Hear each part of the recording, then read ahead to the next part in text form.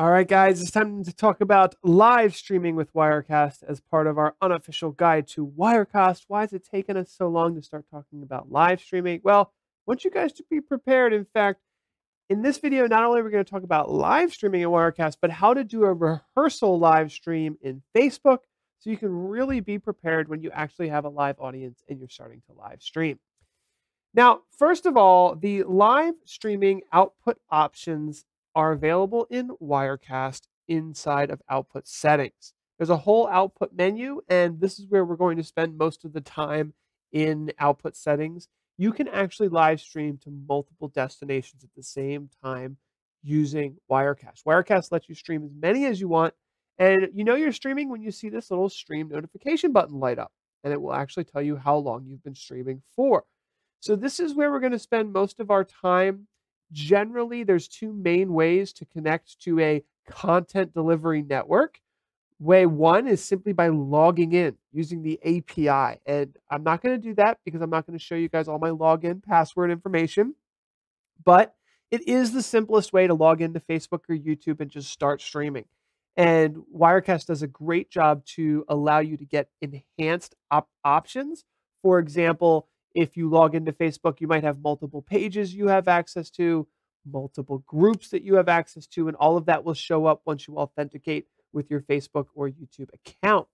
So that is one way. The second way is to just literally have a custom RTMP server name and secret key, which is what we will use for our rehearsal today. Just remember that when you're live streaming with RTMP, you are going outside of your local area network. You can still record at the same time. And what you need to consider is bandwidth. Do you have enough bandwidth to live stream?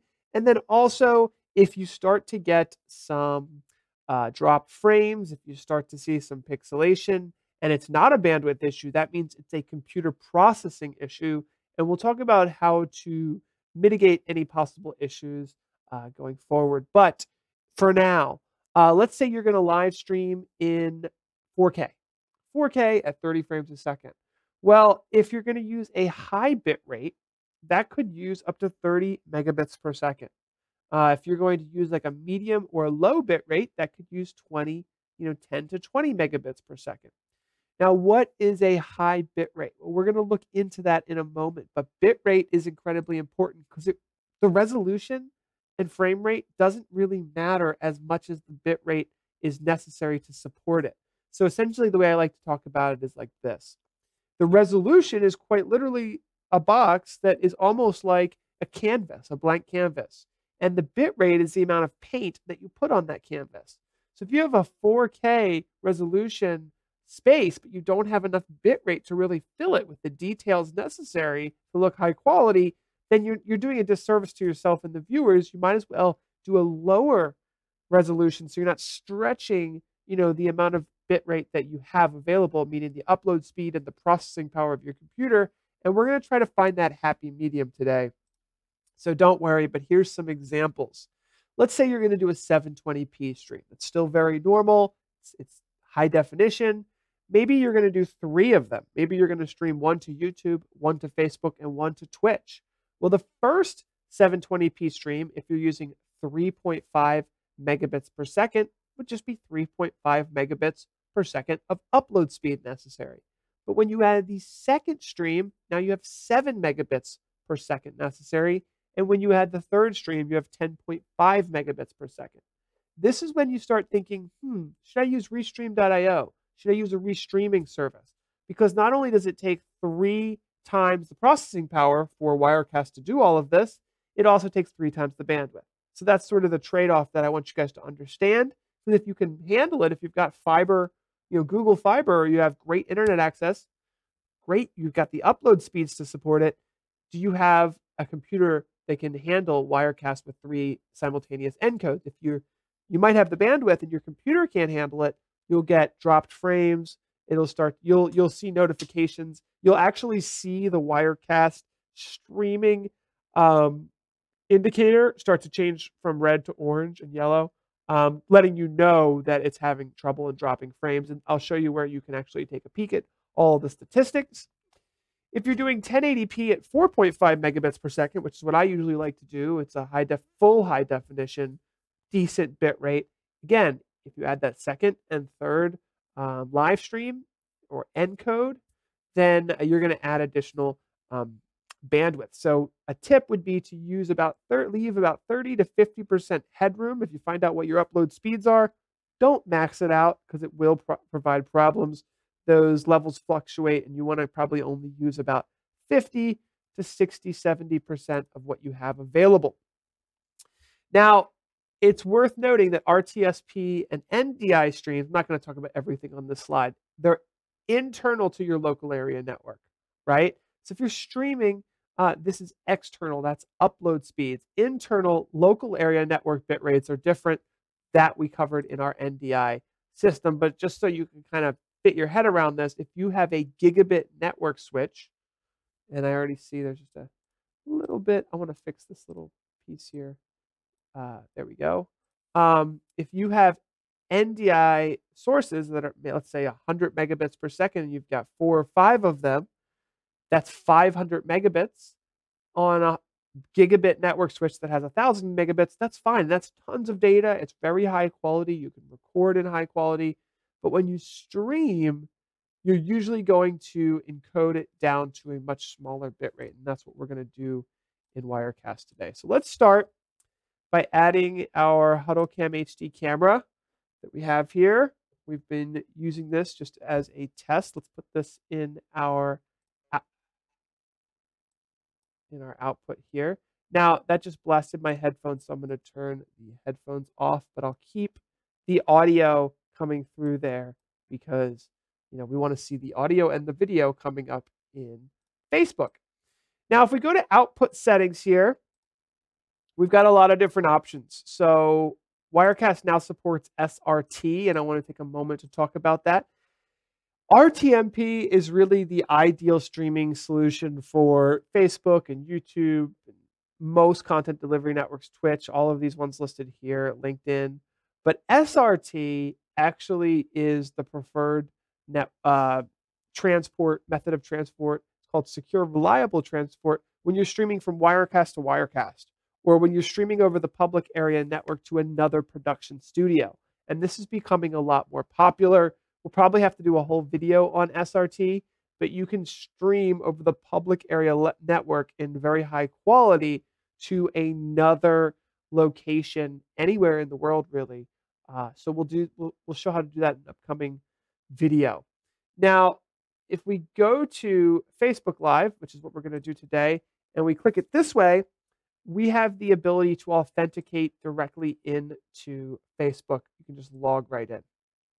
Now, I'm not going to do that right now. I'm actually going to show you how to directly stream with a um, a URL, which is actually going to teach us a little bit more but if you do uh, want to directly log in, it's a great way to do it. You authenticate in, then you have the ability to post to pages, you have the ability to post to groups, and it, it opens up all kinds of great opportunities for going live, scheduling lives. You can do all these great advanced options, and you know Wirecast really handles it all for you.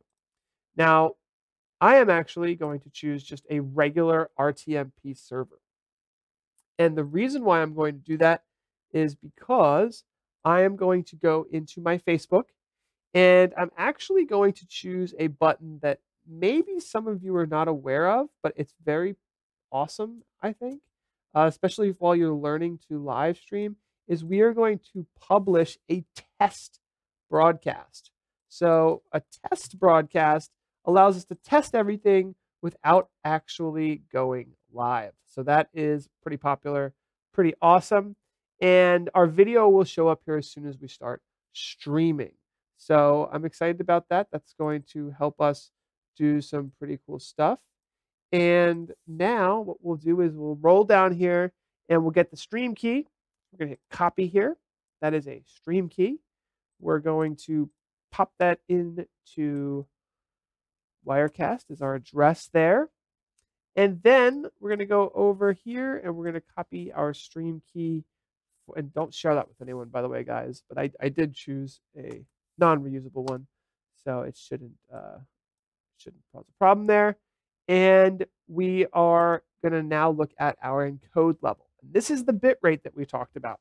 So by default, we have 720p at 4 megabits per second. That's pretty good stuff. Uh, it's H.264. That is the encode protocol that's being used. Uh, you can see here there's some newer ones that I actually recommend, to be honest. Uh, if you have an NVIDIA graphics card, you would probably actually want to use the NVIDIA NVENC H.264. Um, but I'm not going to assume that you have that, so we'll stick with um, this 720p at 4 megabits per second. Now, if you have an issue streaming at 4 megabits per second, or you're trying to squeeze you know, YouTube and Facebook together, you might reduce uh, the stream and then add another one. So, for example, we can just stack these up. We can just keep adding more and more RTMP servers or you know authentications into different um, platforms, and that's really cool with Wirecasts. We can just keep adding them, and as long as your computer can handle it, Wirecast will let you just keep streaming. And I think that is a great feature. Now, the other thing I'm going to do and, also recommend is that you can record to disk. Um, merge out of here a little bit so you can see that. So you can stream and record at the same time.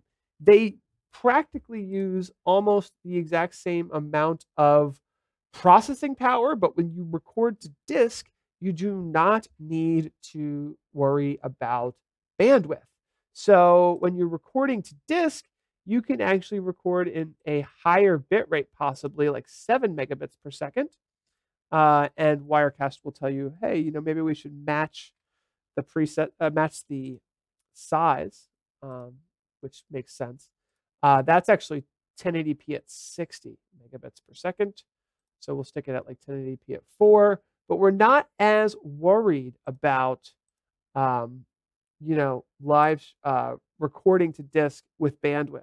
Uh, so we can increase the bit rate if we so choose.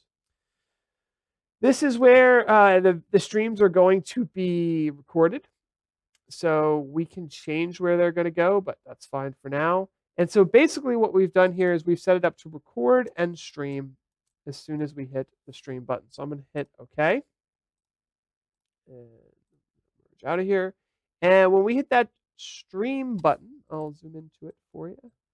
So when we hit this stream button here, it is going to start streaming. And essentially, uh, we are streaming now. So that is good news. And now we can cut over to uh, Facebook Live and we can see the videos coming in, popping in. Now, keep in mind, this is a test broadcast, so I didn't really want to do too much with that. So I'm going to basically just hang out and cut the broadcast for now because I don't want to go live. But that is everything you need to know about Wirecast live streaming. And hopefully that gives you a good idea of how to get started with live streaming with Wirecast. Let me know, by the way, if you have any comments in the in the video below, and I'm happy to answer them.